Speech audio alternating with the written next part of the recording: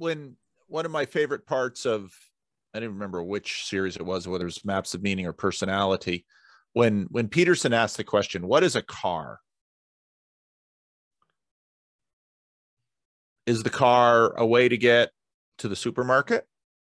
Is the car a way to change the atmosphere of the planet? Is a car a way to redesign the cities of the world? Automo- automobiles get you from point A to point B. You might say, well, that's their fundamental purpose. That's what they were designed to do. But I could say, well, no, it turns out that their fundamental consequence, if not purpose, is the complete transformation of cities, the demolition of the rural communities, and the destruction of the atmosphere. It's like, oh, we left something out. Yeah, you left something out. The system, when, before the, if you think about before the Protestant Reformation, the Protestant Reformation comes right on the heels of the Columbian Exchange. What is the Columbian Exchange? It's when Columbus finds, you know, he's making his way to China and boop, oh, there's a big thing in the way called North and South America. And that changes the world. And on the heels of that, the world has changed dramatically in the last 500 years in ways that could not have been anticipated in the thousands of years of civilization before that. The question of what a car is is not incidental to the question of Christianity. In a sense, saying that it is is a very Protestant thing.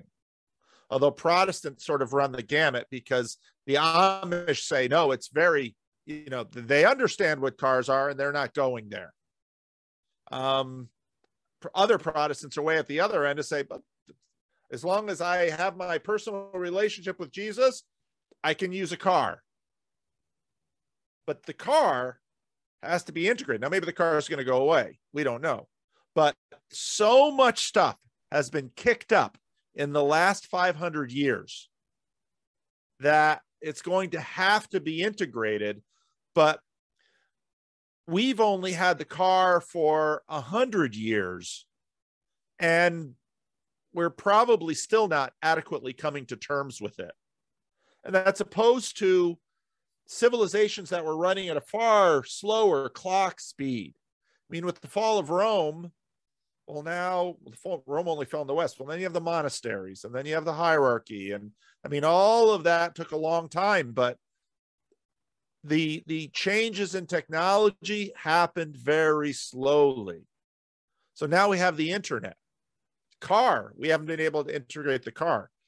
We probably haven't really been able to integrate the printing press. Now we have the internet. So you know i think part of what i think the protestant protestants are about is an attempt to integrate Protestantism is sort of this experimental workshop out on the fringe. And I think to a degree, the Orthodox and the Catholic just watch and they let the Protestants die so they don't have to. Um, just like ideas, you know. well, that's one way not to do church. Who don't do it that, that way. Better not do it that way.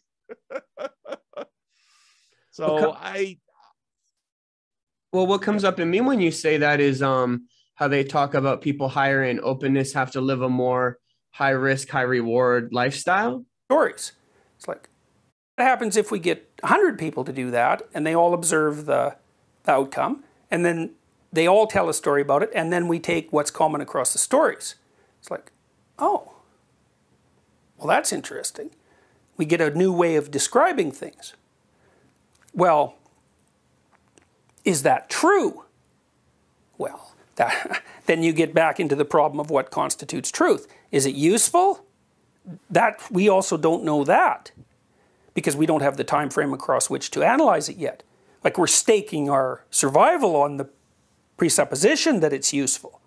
But it's like there wouldn't be constant bouts of apocalyptic thinking if we didn't have our doubts about it.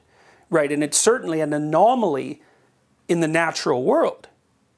Well, no one, no other creature has science. It's like they did perfectly well without it. Maybe science is fatal. I mean, it could easily be fatal. So, you know, and, and, and someone who's a scientist in the sort of ideological sense would say, well, even if it's fatal, it was still true. It's like, well, it depends on how you define truth.